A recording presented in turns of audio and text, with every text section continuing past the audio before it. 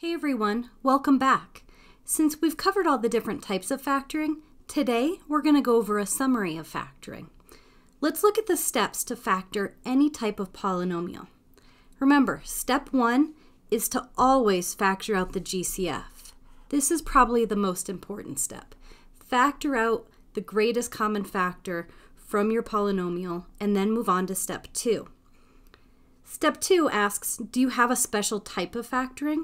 Remember, if you have four terms, you can factor that by grouping. If you have two terms, a binomial, you probably have the difference of two squares, the difference of two cubes, or the sum of two cubes. If you have one of those, you follow one of these given formulas. Or you could have a three-term polynomial. If this is the case, you can factor as we normally factor, or you can try to identify if it's a perfect square. If it's a perfect square trinomial, you factor following the perfect square trinomial formula. And then step three, which is just as important as factoring out the GCF, is to check. Check that your polynomial is completely factored. So let's look at a couple of examples. We're going to factor completely if possible. Number 1, 2y squared minus 4y plus 4. First step, do we have a GCF? Of course we do. We have a GCF of 2. If we factor out the 2, we get the polynomial y squared minus 2y plus 2. Step 2, we look at this remaining polynomial. It's not four terms, so we can't factor by grouping. It's not two terms or a binomial. It's three terms, but it doesn't appear to be a perfect square trinomial. So let's see if we can factor it any other way. We need to see if we can find two factors, m and n, that multiply to 2, and at the same time, m plus n add to negative 2. Well, the factors of 2 are 1 and 2, but there's no way that we can add 1 and 2 and get a sum of negative 2. So for this example, we were only able to factor out the GCF of 2. So our factored form is 2 times y squared minus 2y plus 2. Let's look at example 2. 4b squared minus 12b plus 9. We don't have a GCF, so we can move on to step 2. Do we have a special type of factoring here? Maybe. That first term, 4b squared, is the same as 2b squared. And then that last term, 9, is the same as 3 squared. So if our middle term is the same as 2 times the root of our first term times the root of our third term, so 2 times 2b times 3, which is 12b, since 12b is the same as our middle term, we know that we have a perfect square trinomial. And since this perfect square trinomial has a negative or a minus sign for the second term, we know that it factors as the root of the first term minus the root of the second term, all squared. Let's look at example 3. 6z to the fourth minus 21z cubed minus 45z squared. Well, do we see a GCF? Of course, we see 3z squared. And when we factor out that GCF of 3z squared, we get 2z squared minus 7z minus 15. Now, this remaining polynomial doesn't look like any of the special types of factoring. So, let's find the factors m and n that multiply to a times c, or negative 30. And remember at the same time, m plus n needs to add to negative 7. So what are our factors of negative 30?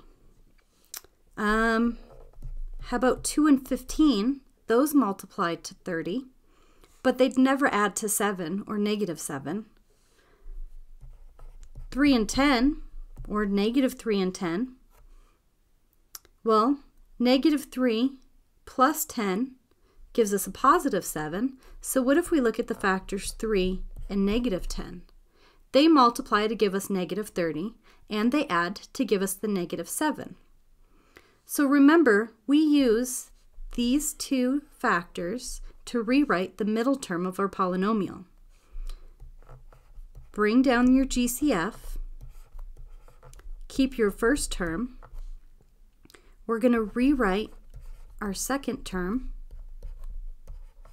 using those two factors and keep our third term. Now we factor by grouping.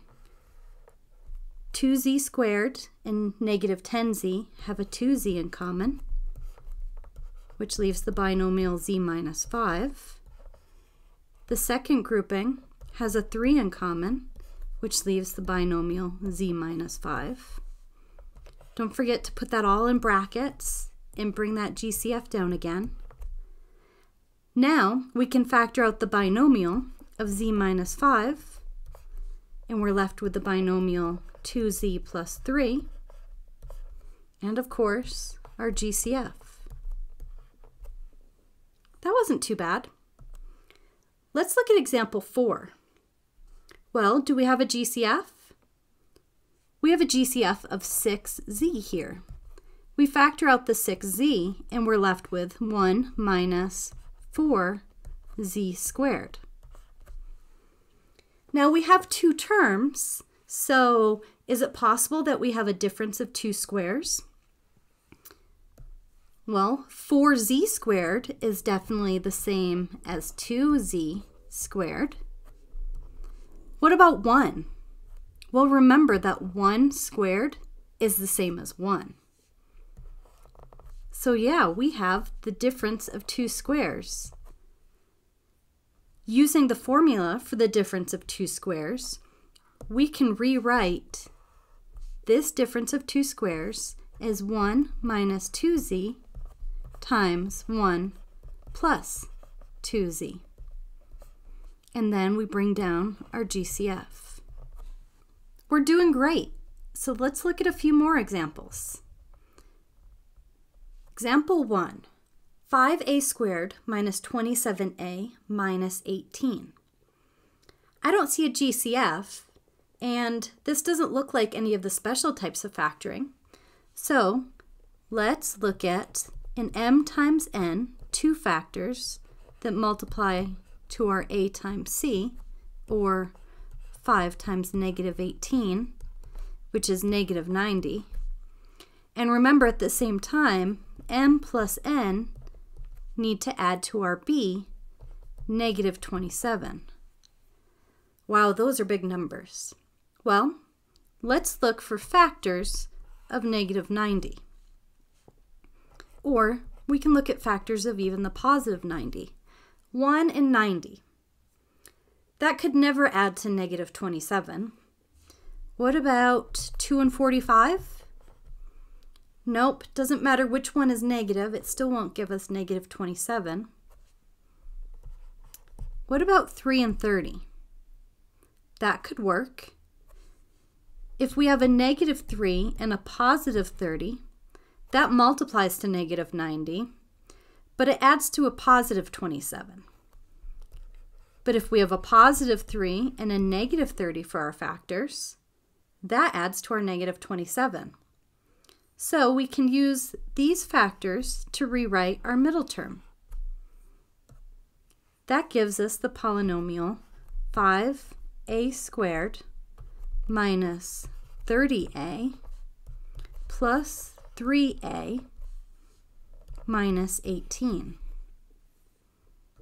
Now use your associative property and group the first two terms and the last two terms.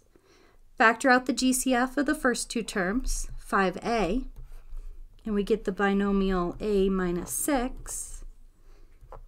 The GCF of the second two terms, a 3, and we get the binomial a minus 6. Now, they both have this binomial in common. So if we factor out the binomial a minus 6, we're left with the binomial 5a plus 3. That wasn't too bad. Let's look at example 2. 3rt squared plus 33rt plus 90r. Do you see the GCF? Yeah, it's 3r. Factor out 3r and we get the polynomial t squared plus 11t plus 30. Now, does this remaining polynomial look like any of our special types of factoring? No, not to me. So let's use our m and n. So m times n have to equal 30, or m plus n equal our middle term, 11. Factors of 30 that can add to 11. Well, factors of 30, we have 1 and 30. No, that doesn't work. 2 and 15. Nope, that's 17. 3 and 10. We're getting closer. That one adds to 13. Ooh, how about the factors 5 and 6? Those multiply to 30 and they add to 11. Since we didn't have a leading coefficient here, these two factors are the factors of our binomials. So we have 3r, our GCF, and then our factored polynomial t plus 5, t plus 6. That one wasn't too bad. Let's look at example 3. Here we have 6n cubed plus 2n squared minus 10n. Do you see that GCF too? Yeah, it's 2n. When we factor out the 2n GCF, we're left with the polynomial 3n squared plus n minus 5. Well, this remaining polynomial doesn't look like any of our special types of factoring. So let's see if we can factor it using the factors m and n. Well, m times n have to equal 3 times negative 5, or negative 15. And m plus n need to equal our middle coefficient, or 1. Factors of 15. Well, we have 1 and 15. That certainly can't add to 1. And then 3 and 5. That also can't add to 1.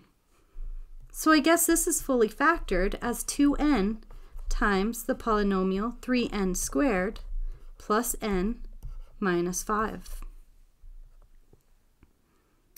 Let's look at example 4. 2a cubed minus 16a squared plus 32a.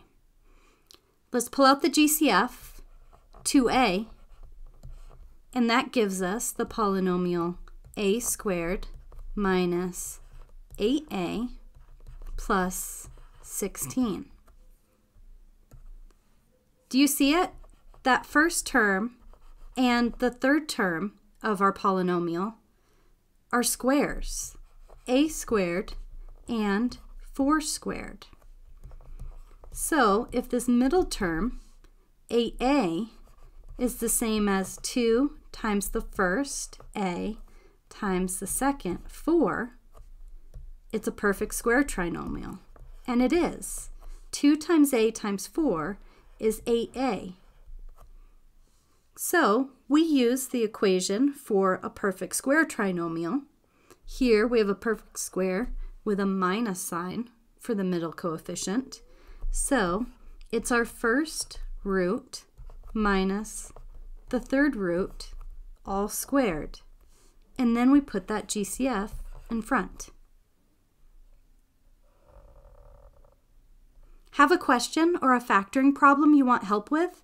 Leave it in the comments and I'll include it in one of my next videos.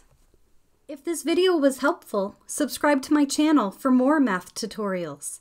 Thanks for watching. See you next time.